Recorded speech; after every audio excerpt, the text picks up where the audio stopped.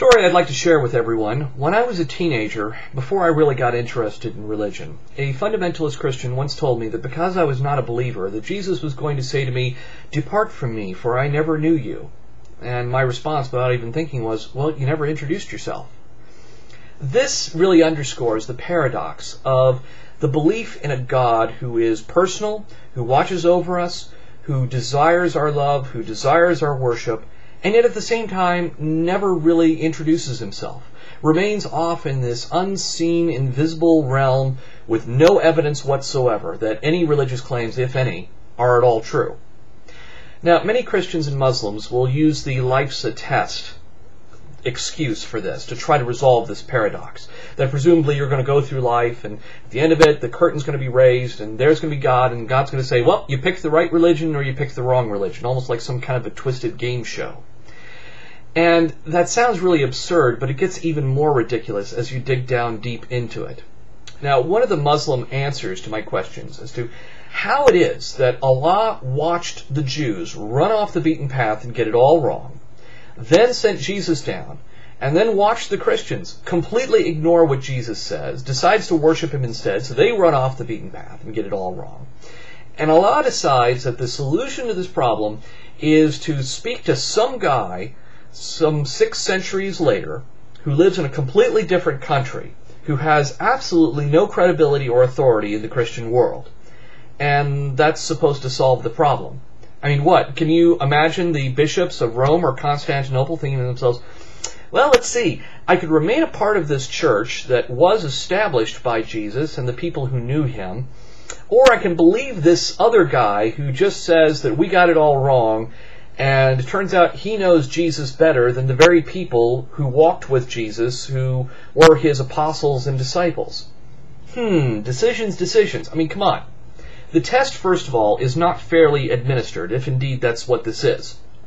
Your odds of being a Muslim, and thereby passing the test, are far greater if you grew up in a Muslim country or in a Muslim family.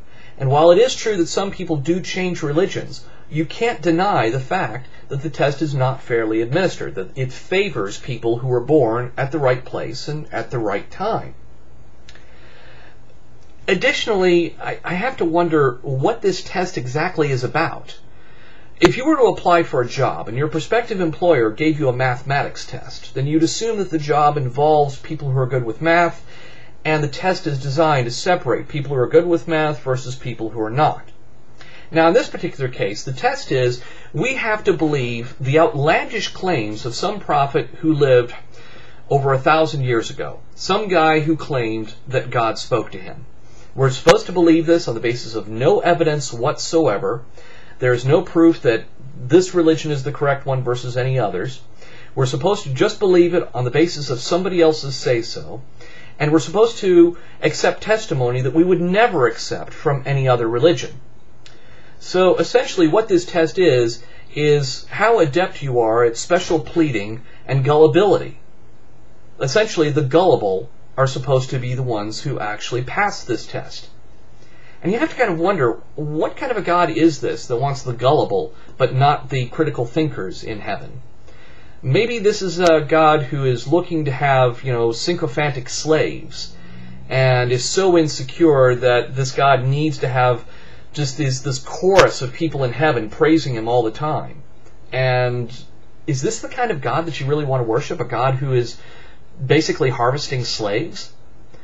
And what proof can you offer that that really is the test? Maybe the test is the critical thinkers get to heaven.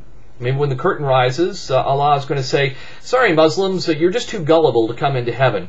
You see, the whole test was designed to figure out who's going to use the power of reason that I gave them and who's going to think critically and evaluate all the different claims and, and really try to understand the way the universe actually works through the scientific method. You see, in heaven, we need really big academic achievers and, and great minds here because we're competing with uh, another God and another creation down the street. And so we, we only need the best here. Sorry, Muslims, but you all get confined to oblivion because you were just too gullible. It's really something to think about here. So the it's a test or life's a test really doesn't adequately answer the question. Thanks for trying, though.